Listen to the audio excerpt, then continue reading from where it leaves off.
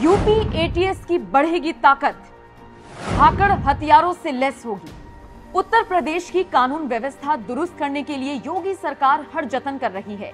एक तरफ़ जहाँ अपराधियों से निपटने के लिए यूपी पुलिस को फ्री हैंड कर दिया गया है तो वहीं अब यूपी एटीएस को भी अत्याधुनिक हथियारों से लेस कर दिया गया है। यानी अब वीवीआईपी और संवेदनशील जगहों की सुरक्षा और ज़्यादा मुस्तैदी से हो सकेगी।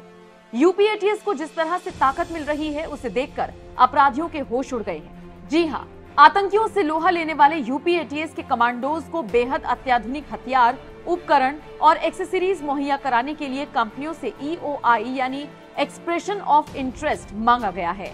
जानकारी मिल रही है कि 30 जून तक इस काम की सभी फॉर्मेलिटीज पूरी हो जाएँगी और फिर जल्द ही यूपी एटीएस को ये हथियार मिलेंगे। आपके लिए अब ये जानना भी ज़रूरी है कि कौन कौन से हथियार यूपी एटीएस को मिलने जा रहे हैं।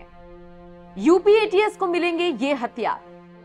7.62 बोर की असोल्ट राइफल 9 mm की semi auto machine gun 9 mm की पिस्टल स्नाइपर राइफल 12 बोर की पंप एक्शन गन 7.62 बोर की light machine gun under barrel grenade launcher hand grenade 84 mm CGRL rocket launcher drone camera see through wall radar night vision goggle night monocular night weapon sight laser distance meter AK 47 की tactical light Glock pistol की laser grip thermal imaging sniper night sight body bond camera loud hailer आपको बता दें, जिस सी through wall radar को खरीदने की तैयारी यूपीएटीएस कर रही है, उससे आतंकियों का कमांडोज की नज़रों से बचना।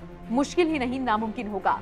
यूपीएटीएस इन हथियारों के साथ साथ ऐसे वाहनों को भी खरीदने की तैयारी में है, जो अचानक हमला होने पर अंदर बैठे कमांडो को सुरक्षित रख सकेगी। फिर चाहे हमला गोलियों से हुआ हो या फिर हैंड ग्रेनेड से।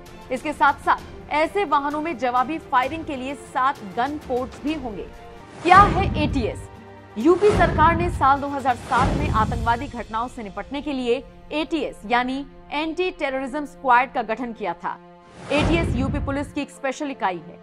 यूपी एटीएस अपने कड़क कार्रवाई के लिए जानी जाती है।